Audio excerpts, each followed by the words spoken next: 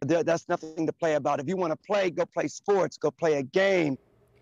The family of a teenager killed by gunfire is sharing her story with us this evening.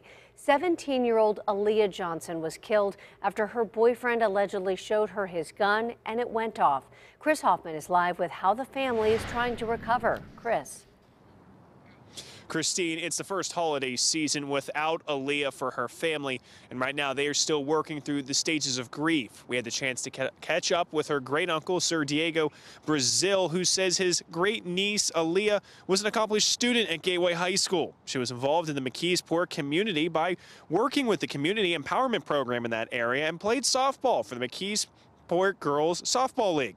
She was killed November 20th when, according to police, her boyfriend, 16-year-old Emeka Moy King, was showing her his Glock handgun. As he went to put it down, his finger was on the trigger. It went off and she died in his Point Breeze home. Her great uncle says her legacy is being a butterfly in the midst of this challenging world. A rose growing up through the concrete, determined in spite of the challenges around her, in spite of people trying to make her feel less than.